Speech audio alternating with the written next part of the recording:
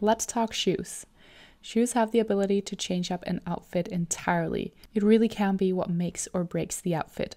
That's why I like having different options that connect to my style identity, but also allows me to dress up or down my outfits based on the occasion.